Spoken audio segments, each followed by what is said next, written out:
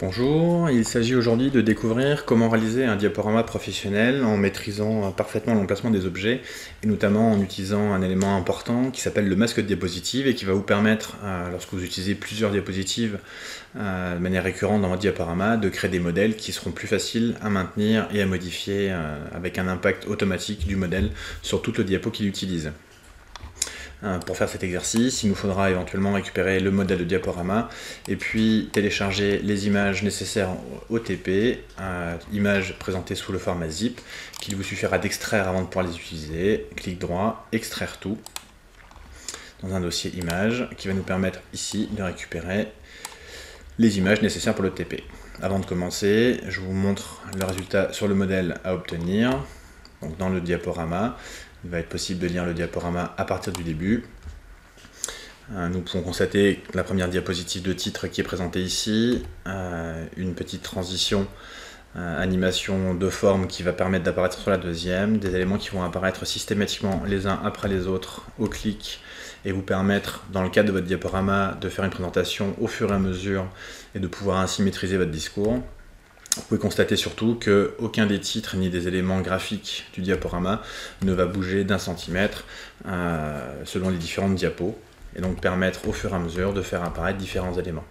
Ici, pour la présentation des départements, nous avons donc un modèle qui nous permet de présenter systématiquement de la même manière les quatre diapositives, euh, en ne faisant que bouger le texte. Les images et les autres éléments graphiques, encore une fois, sont complètement fixes. L'objectif pour nous aujourd'hui est de réaliser ce diaporama en partant d'un document vierge et en suivant donc le TP que je vais euh, vous proposer de démarrer directement. Ne fermez pas le modèle éventuellement, il pourra nous être utile euh, essentiellement pour récupérer les valeurs à recopier et gagner un petit peu de temps à la saisie des informations. Donc je vous conseille éventuellement de réduire ce diaporama sur le côté afin de le conserver pour tout à l'heure. Il nous faut donc ouvrir un nouveau diaporama, fichier nouveau, nouvelle présentation vierge, et celle-ci, nous allons pouvoir l'ouvrir en grand directement. Euh, nous sommes donc à la question numéro 2. Il s'agit donc de renseigner le titre euh, de la diapositive et euh, le sous-titre. Donc ici, dans le bloc titre, découvrir la Lorraine. Et le sous-titre qui est présenté en dessous, la Lorraine.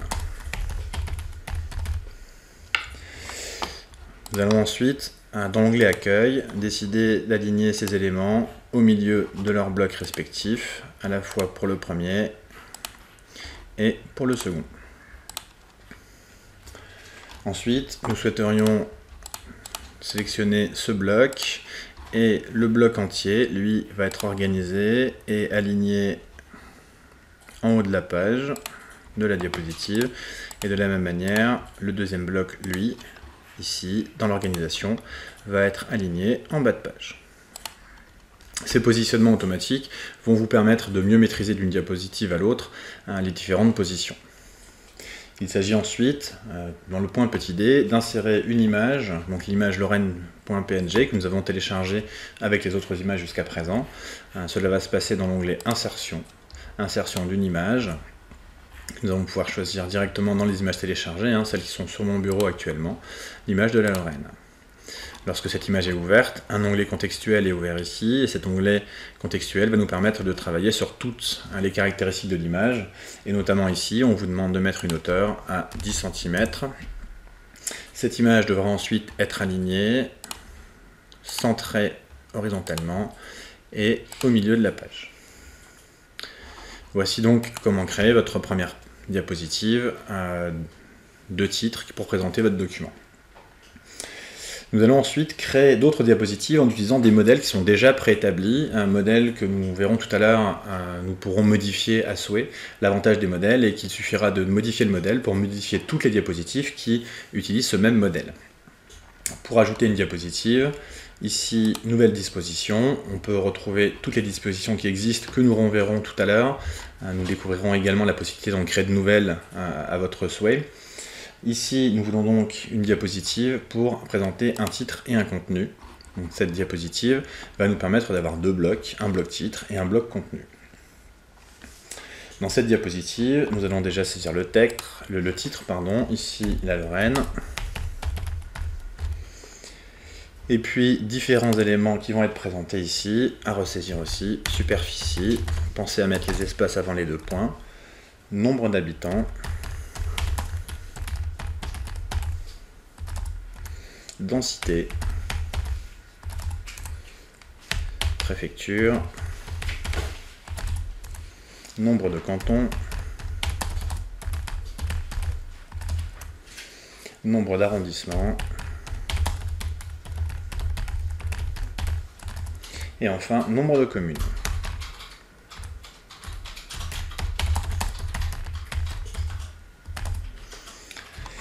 Pour renseigner les informations situées à côté, vous pouvez soit vous rendre sur Wikipédia ou alors réduire ce diaporama et recopier directement les valeurs saisies sur l'autre diaporama modèle afin d'aller un peu plus vite. À savoir ici 23 547 km, le nombre d'habitants 2 356 600, la densité 100 habitants au kilomètre carré, la préfecture de Metz, 19 cantons, 157 arrondissements et 2337 communes. Pour la mise en forme par la suite, nous souhaiterions que tous les, euh, les titres placés devant, superficie, nombre d'habitants, soient systématiquement en gras et en bleu. Euh, encore une fois, comme tout le temps sur tous les logiciels de bureautique, il vaut mieux euh, faire impacter les aspects graphiques à la fin afin de ne pas multiplier les manipulations. Je sélectionne ici superficie avec les deux points et je peux donc le mettre en gras et en bleu. Je souhaiterais reproduire cette mise en forme sur tous les éléments ci-dessous.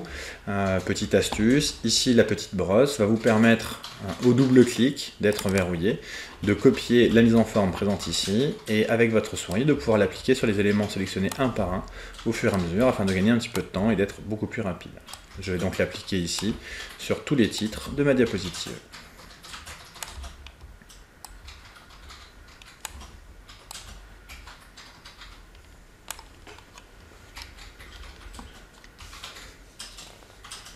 Donc de compléter le point 4 ici directement pour le premier élément qui s'appelle la Lorraine. Nous venons donc de terminer euh, le point numéro 4 et donc il est temps à présent d'attaquer la question numéro 5. Euh, pour l'instant, nous ne nous occupons pas de la mise en forme des titres et d'autres éléments de cette diapositive. Nous verrons que nous allons pouvoir le travailler tout à l'heure dans le fameux masque de diapositive. Il s'agit à présent de créer les quatre prochaines diapositives qui vont toutes les quatre être basées sur le modèle de contenu. Nous allons créer la première que nous pourrons dupliquer ensuite pour faire les trois prochaines. Euh, là aussi, tout à l'heure, nous irons modifier directement le modèle de contenu dans le masque de diapositive pour impacter les effets graphiques directement sur toutes les diapos qui vont l'utiliser. Donc, nouvelle disposition avec le mode de contenu. Euh, nous allons ici pouvoir mettre en place euh, le titre, à savoir la première, la Moselle, département 57. Et nous allons pouvoir, euh, dans cet onglet-là, sélectionner ici la possibilité d'insérer une image. L'image à choisir est bien évidemment celle de la Moselle. Nous allons pouvoir insérer automatiquement. De l'autre côté, nous allons créer, comme tout à l'heure, les différents éléments, à savoir superficie, toujours avec l'espace avant les deux points, les habitants, la densité, la préfecture, et puis le nombre de communes. Là aussi, comme tout à l'heure, je vous conseille d'utiliser directement le modèle proposé avec la correction pour aller plus vite dans la saisie des informations. La superficie 6216 km le nombre d'habitants, lui, 1 045 066. La densité, 168 habitants au kilomètre carré. La préfecture, Metz toujours. Et le nombre de communes, 730. Nous pouvons à nouveau agrandir notre diapositive. Euh, il nous reste donc, comme tout à l'heure, à mettre en gras et en bleu les différents éléments. Donc nous produisons la même démarche que tout à l'heure. Le gras bleu, la brosse double-cliquer pour être maintenue et mettre en forme les autres éléments de même nature.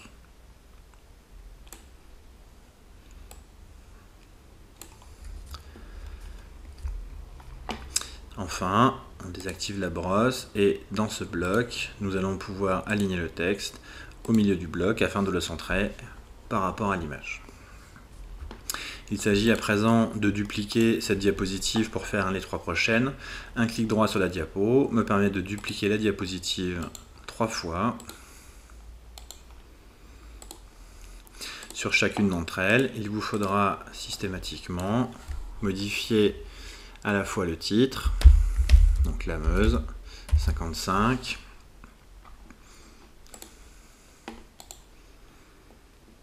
changer d'image à partir d'un fichier pour mettre ici l'image de la Meuse. Pensez à modifier les valeurs en vous aidant du diaporama. Nous procédons de la même manière pour la Meurthe et Moselle.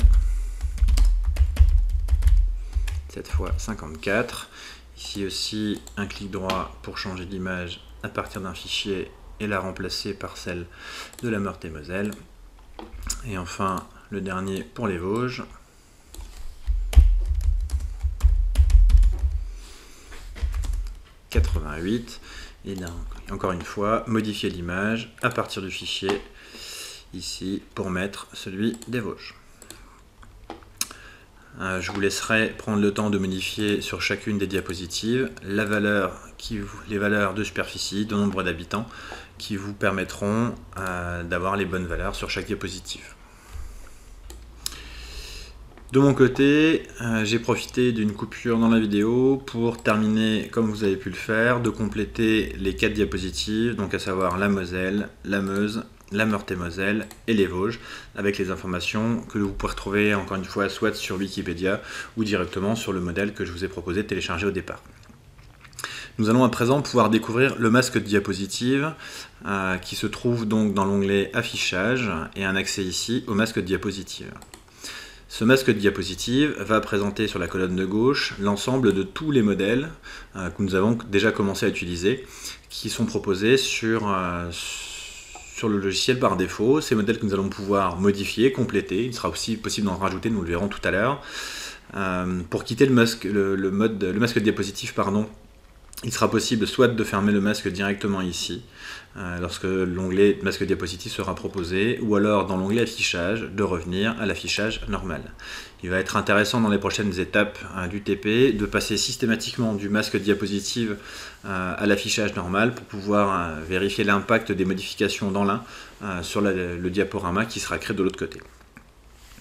Donc nous retournons dans le masque diapositive, encore une fois affichage masque diapositive. Euh, ce qu'il faut comprendre, c'est que tous ces éléments ici présents sont tous les modèles que nous avons vus tout à l'heure dans les dispositions que nous avons utilisées.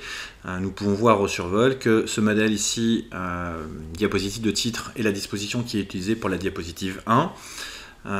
Celle-ci est utilisée pour la diapositive 2 et enfin, celui-ci qui s'appelle de contenu est bien utilisé pour les diapositives 3 à 6, donc à savoir les diapositives 3, 4, 5, 6 qui sont utilisées pour les 4 départements. Donc au survol sur chaque modèle, nous allons pouvoir nous assurer que ce modèle est bien utilisé ou pas et de vérifier pour quelle diapositive il a été utilisé. Est-ce que c'est une seule ou plusieurs comme le cas ici pour 4 diapositives? Euh, la première étiquette, elle a un rôle particulier puisqu'il ne s'agit pas d'une disposition mais d'un thème général. Euh, celle-ci, lorsqu'elle sera modifiée graphiquement, elle impactera systématiquement toutes les dispositions qui sont en dessous. Il sera alors possible par exemple de décider de mettre tous les titres en rouge en modifiant uniquement ce thème ici. Ceci impacterait le titre en rouge sur toutes les diapositives. Et par contre, de pouvoir contredire graphiquement certaines informations sur un modèle en particulier pour lequel nous voudrions que les titres soient systématiquement en vert. Ces dispositions euh, ainsi que les thèmes pourront être renommés facilement pour les retrouver. Euh, je vous invite par exemple à renommer le thème ici et de l'appeler thème.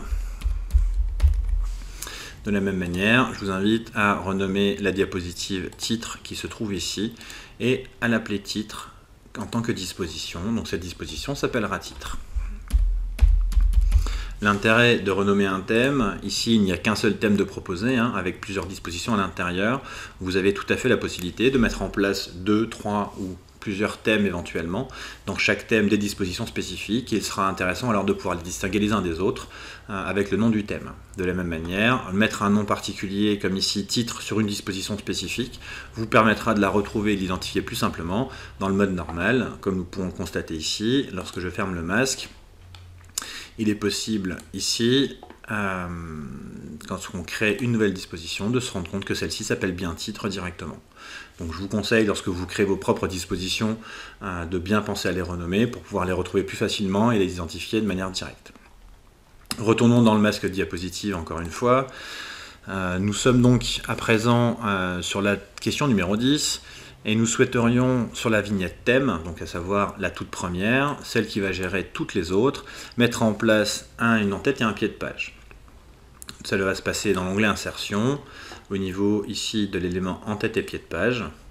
Il va être possible notamment de mettre en place le numéro sur chaque diapositive, un pied de page que nous allons sélectionner comme sur la capture, à savoir DUT TC informatique. Et la possibilité que nous allons tester tout de suite de ne pas afficher euh, ce pied de page sur la première diapositive, ce qui se fait souvent euh, pour que la diapositive titre ne présente pas de numéro ni de pied de page. On va l'appliquer partout. Vous pouvez constater que cet élément va mettre en place sur tous les modèles systématiquement les éléments de date, de pied de page et le numéro. Lorsque l'on retourne dans le mode normal, nous allons pouvoir constater qu'effectivement, toutes les deux diapos se sont vues affecter un pied de page ainsi que l'entête, euh, le pied de page proposé ainsi que le numéro, pardon, euh, à l'exception d'une diapositive, à savoir la première qui, elle, ne s'est pas vue affecter le pied de page. Nous allons pouvoir tester l'autre solution dans le mode masque diapositive. Si nous retournons sur la vignette thème, c'est-à-dire celle qui gère toutes les dispositions d'un seul coup, et que nous modifions dans l'onglet insertion le pied de page qui avait été choisi, si nous décochons cette case et que nous appliquons ça partout, il est possible à présent de constater qu'effectivement, dans le mode normal, euh, la diapositive titre se voit à son tour affecter un pied de page avec un numéro de page directement. Dans le mode hum, masque diapositive, encore une fois, donc nous sommes sur le petit c de la question 10. Il va s'agir cette fois de pouvoir mettre en place des éléments graphiques qui vont être présents sur toutes les dispositions encore une fois. Donc ici par exemple, insérer différents éléments graphiques, par exemple une bande bleue qui va se retrouver tout en haut de page. En la mettant en place sur la vignette thème ici, elle va s'appliquer automatiquement sur toutes les dispositions euh, l'avantage est qu'on aura un élément qui sera fixe quoi qu'il arrive et qui ne pourra pas bouger au changement d'une diapositive à une autre, ce qui donnera un côté plus sérieux et plus professionnel à votre travail. Nous allons continuer d'insérer d'autres éléments, par exemple une flèche toujours de la même couleur que nous allons insérer ici à cet endroit. Et puis la possibilité d'insérer un troisième élément graphique, pourquoi pas cette fois-ci euh, un triangle, celui-ci par exemple, qui pourrait être mis en place dans le coin gauche de votre diapo. Et enfin, la possibilité d'insérer toujours sur ce thème une image pour ajouter le logo en PNG, donc en transparence, logo que l'on va pouvoir réduire et placer ici à côté du numéro de page pour qu'il ne recouvre pas le numéro de page. Ces éléments graphiques ayant été mis en place, il nous est possible dans l'onglet affichage de revenir dans le mode normal et de constater que du coup, ces éléments sont présents automatiquement sur toutes les diapositives euh, de notre diaporama, que ces éléments de ce côté-là ne sont pas cliquables ni modifiables puisqu'ils sont dans le masque et dans le modèle. Ils ne peuvent donc être modifiés du côté contenu. Pour le point D de cette question, retournons encore une fois dans le masque diapositive. Donc encore une fois, affichage, masque diapositive.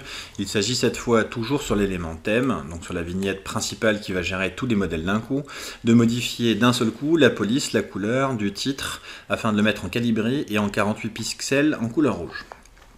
Je vais sélectionner donc mon titre ici, et dans l'onglet accueil, choisir une police calibri, de mettre une taille en 48 pixels et de mettre une couleur rouge. Encore une fois, en impactant ce titre sur le modèle, nous allons modifier automatiquement toutes les dispositions pour lesquelles, pour l'instant, les titres seront systématiquement en rouge, en calibré et en 48 pixels. Par contre, il est possible de contredire cette consigne, puisque dans la diapositive titre juste en dessous, celle qui va gérer la première diapositive de notre diaporama, nous allons pouvoir déterminer que ce titre, par contre, ici, devrait être en gras et c'est tout, juste en gras. Et enfin, dans la diapositive qui va présenter tous les départements, donc celle qui s'appelle ici de contenu, nous allons pouvoir déjà insérer une image à cet endroit qui va être fixe systématiquement sous la barre bleue. Donc ici, nous allons insérer une nouvelle image. Il s'agit cette fois de l'image lorraine2.jpg. Cette image que nous vous demandons au double clic dans la mise en forme, donc dans l'onglet contextuel, il est demandé de la mettre à 4 cm de hauteur et manuellement d'aller l'aligner en haut à droite, juste en dessous de la barre bleue. Encore une fois, il est intéressant de revenir dans le mode normal pour constater les modifications. Tous les titres ont été mis en rouge partout. Euh, nous réalisons que le titre ici est bien plus gros parce que nous avons modifié la consigne sur euh, la disposition titre. Par contre, on est toujours en 48 pixels sur les autres. Nous pouvons constater qu'il manque éventuellement un élément. Les titres ici sont tous à gauche. Alors effectivement, nous serions peut-être tentés de les mettre de manière centrée euh, individuellement un par un. là aussi, il est beaucoup plus intéressant toujours de travailler dans le masque de diapositive directement. Pourquoi? Il va nous être possible, grâce à ça, d'impacter toutes les diapositives d'un coup et pas uniquement certaines. Dans le masque de diapositive, encore une fois, si je veux centrer tous les titres sans exception, je vais pouvoir le faire plutôt directement dans la diapositive thème ici, qui va impacter cette consigne sur toutes les autres. Donc là aussi, accueil, et je vais pouvoir centrer mon texte, ce qui va avoir l'effet de centrer sur toutes les dispositions directement.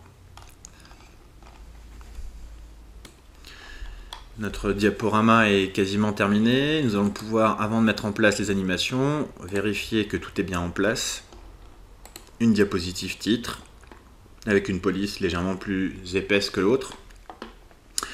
Euh, le pied de page, le petit logo qui est présent sur chaque élément, les éléments graphiques, les bandes bleues, les triangles bleus qui sont bien présents sur toutes les diapositives, les textes qui sont tous en rouge et centrés. Donc l'homogénéité du diaporama est bien mise en place et aucun élément graphique du coup ne va bouger euh, par rapport euh, aux autres d'une diapositive à l'autre. Il nous reste à présent à mettre en place des animations et pour cela nous allons nous rendre dans l'onglet animation. Dans cet onglet, ici, nous retrouverons les différentes animations possibles euh, pour un diaporama professionnel. Essayer d'éviter euh, toutes les animations un petit peu folkloriques euh, qui mettent en place des éléments qui sautent, qui rebondissent. privilégier systématiquement les éléments apparaître ou disparaître et limiter les effets spéciaux au minimum afin de rester sur quelque chose de cohérent, de sobre et de professionnel.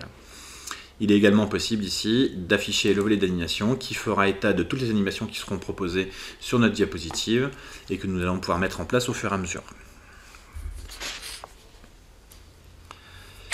Premier élément, nous allons vouloir modifier la diapositive titre, donc celle-ci, sur laquelle nous voulons prendre tous les éléments en même temps, donc à savoir le titre, l'image ainsi que le sous-titre.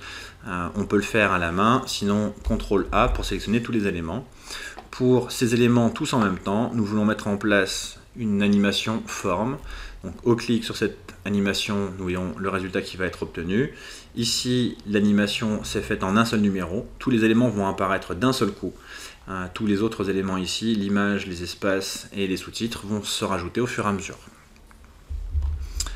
Question numéro 13, sur la diapositive numéro 2, nous souhaitons cette fois faire apparaître chaque ligne une après l'autre nous pouvons déjà faire apparaître notre titre. Je sélectionne mon titre et je clique sur apparaître et je peux me rendre compte que cet élément ici et là se voit affecter le numéro 1 qui sera la première animation mise en place. Il est possible de le faire manuellement assez rapidement pour que chaque ligne puisse apparaître systématiquement après la précédente. Les numéros s'affichent au fur et à mesure et vous permettront de voir le déroulé de votre diaporama à chaque fois que vous cliquerez sur la souris ou sur une touche telle que la barre espace, vous pourrez faire apparaître au fur et à mesure votre contenu et l'associer à votre débit de parole directement.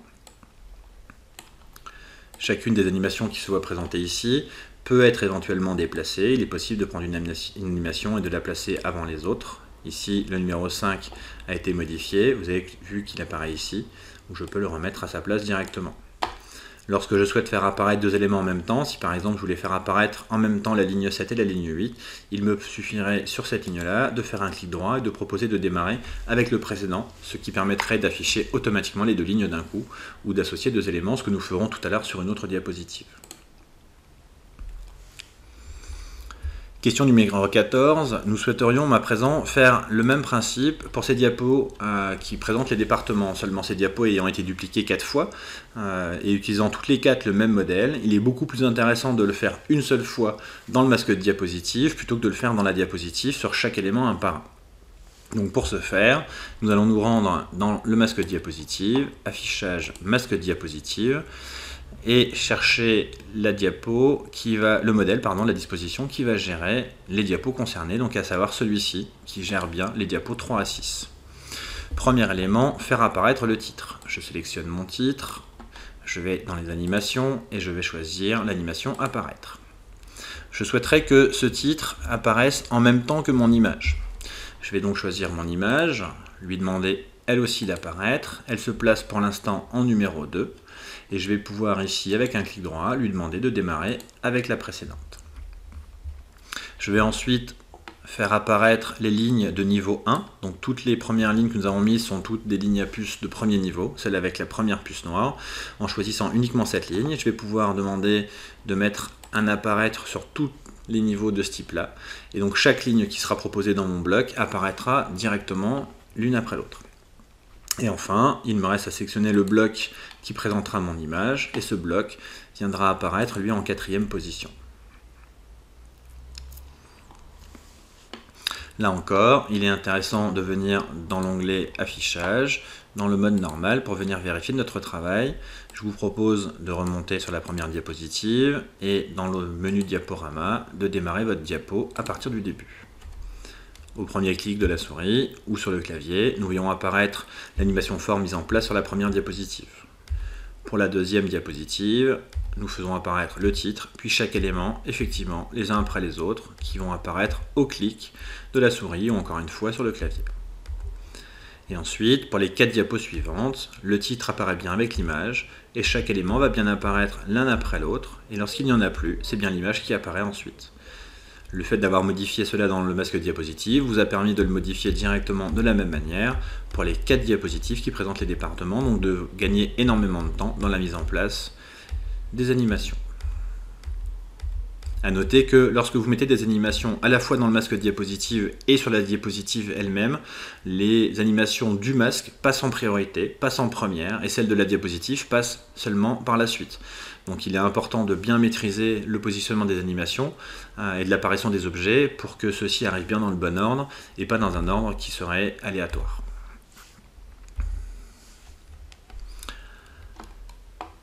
Notre diaporama est terminé. Euh, il nous reste des solutions supplémentaires qui vont me permettre de vous présenter d'autres éléments, euh, notamment dans le masque diapositive toujours.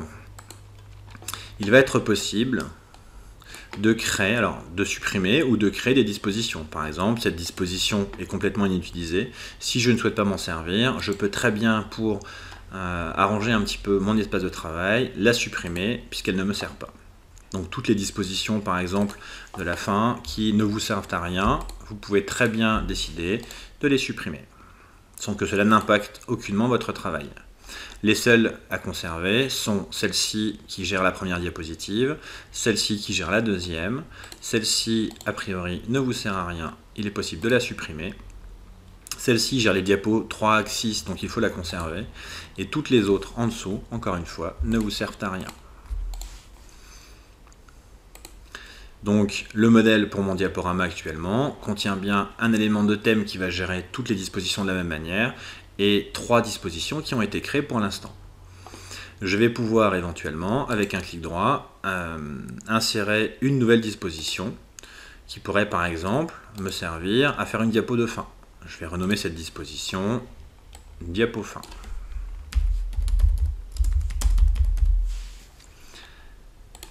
Et je vais pouvoir en créer une dernière, une dernière disposition qui va me servir, elle, à créer des diapositives pour les monuments. Je vais donc l'appeler diapo monument. Ces dispositions vont pouvoir être créées et modifiées à votre goût et à votre souhait et utilisées de l'autre côté dans l'insertion de dispositions pour utiliser une ou plusieurs diapositives. Par exemple, pour la création de, la diapositive sur les documents, les, monuments, pardon, je vais pouvoir, dans l'onglet Masque diapositive, euh, insérer des espaces réservés prévus pour mettre, par exemple, euh, du contenu. Je vais pouvoir mettre ici un bloc destiné à recevoir du contenu. Je vais pouvoir aussi, toujours dans le même onglet, rajouter un bloc qui lui sera destiné à recevoir une image. Et enfin, je vais pouvoir éventuellement rajouter toujours au même endroit un espace qui lui sera réservé pour l'insertion d'un tableau.